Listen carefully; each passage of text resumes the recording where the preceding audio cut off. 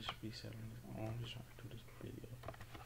What's up? This your boy CJ Goodfella back with the Boxing Clinic. Uh, please, please subscribe so I know uh, where I stand. If you like the videos or you just, you know, want to be a part of the movement, just subscribe so I know where I can make my adjustments at and where I can get better at. And just comment also and like the video if you like what you see so I know what kind of my crowd and my audience stand.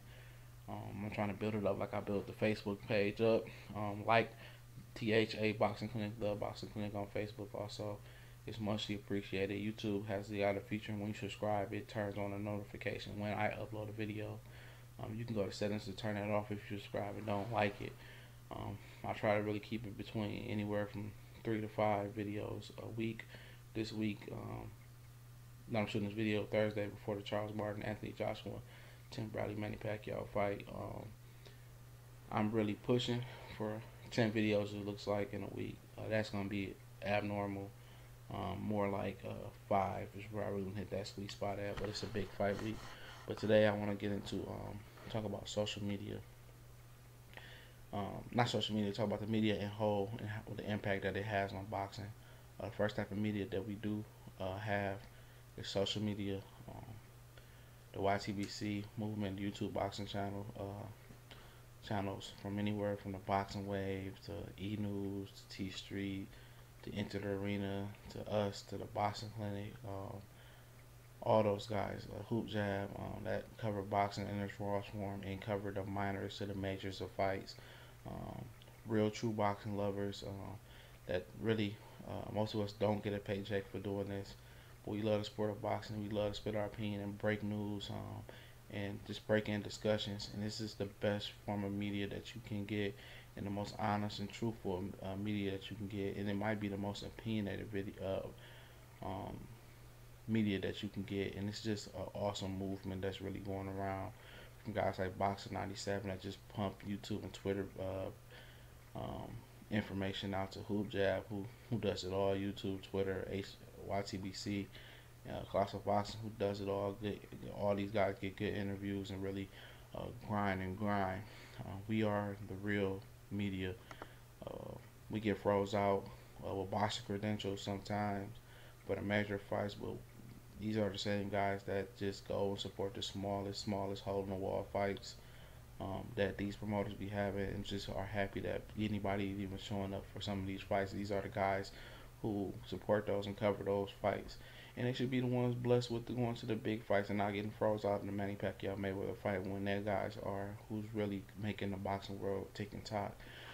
Then you have in the middle you have the the major media, um, ESPN's, the Ring Magazine, Yahoo, um, stuff like that. These guys who get paid to go to the fights, um, who write these biased, uh, opinion, opinionated uh, stories about some promoters because the promoter has them in the back pocket. Um, but it will also break some of the biggest news, and you get some of the best stories from them edited. Um, have to worry about uh, miss spell check most of the time, and are great follows. Um, guys like Calvin Loyola, uh, I can't. I'm sorry if I butchered your name on Yahoo.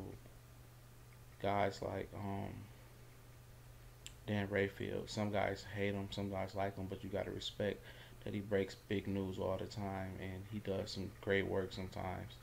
Uh, he's very much hit and miss. Stevie Kim, somebody who's vastly uh, opinionated and biased, but breaks some of the biggest news and gets some of the best stories.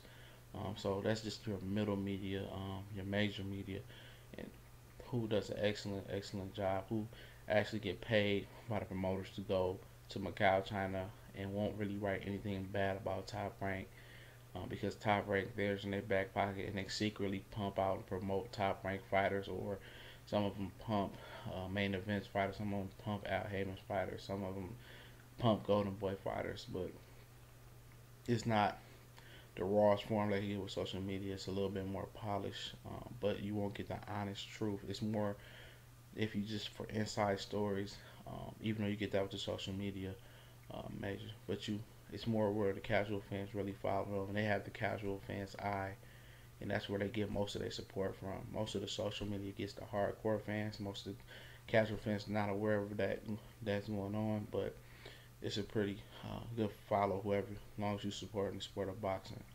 Um, I know Bob Arum was paying guys um, tickets and room and boarding um, to go watch Manny Pacquiao and Macau. Um, so you know, you know how that goes. Then we have last but not least the live broadcast on uh, media. The Jim Lampley's, the Mike Kellermans, the Al Bernstein, the Jim Grays, Antonio Tarver, the Paulie Malignaggi's. I can go on and on. Um, these guys have the biggest impact on the fight because they are the voice of the fight. That they uh, see stuff that the casual fan can't see, or sometimes the hardcore fan can't see, and they have the, the first first impact on a fight, um, which is very very critical. They swing the fight either way most of the times. If you are a fan of watching the fights with the sound on, they swing the fight. Um, they can make it uh, look like Mayweather Manny Pacquiao was a close fight. They can make it like a wide fight or it wasn't a fight at all. They can make it look by their commentating and their biased opinion. HBO is known for being very, very biased. Showtime can be biased, but they're more of the honest, honest um, side of things. With Paulie Malignaggi and Al Bernstein are respected veterans in the game now. Um, but HBO was just notorious for being biased and um, pumping up the fighter that HBO was backing. Like, um, I remember one fight, Chris Algieri versus Ruslan Provodnikov they made it seem like uh, Provodnikov was killing Algieri outside the first two rounds. But in I, what I was seeing, because I'm different from a lot, a lot of fans, uh, regular casual fans, I'm a hardcore fan in my opinion. I was seeing Algieri uh, putting on a boxing clinic. I thought Algieri swept a lot of those rounds. After the second or third round, he was really getting beat. And uh, I think it was Jim uh, Jim Lampley uh, that was really, really um, pushing for Provodnikov to win that fight. Um, I don't know if it's his lack of knowledge or if he was just, you know, a Provodnikov fan. But once you in the media and you call a fight, you have to call it right down the middle. And I think it was Andre Ward or Roy Jones on the telecast. It was in Atlantic City, I think. And he was just telling me, like, he was just telling us, like, Andre was killing him.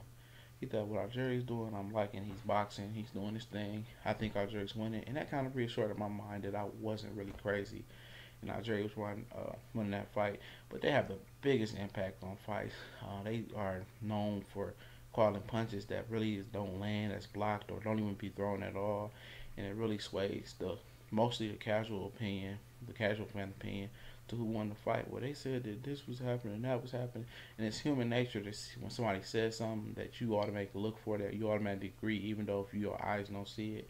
So it's crazy how how much these um, broadcasting um, media has impact on the fight. They are the voice of the fight. They are the first one to bless the fight um, with their media uh, opinion and expert. So definitely, um, they are, are probably have the biggest impact on the sport of boxing.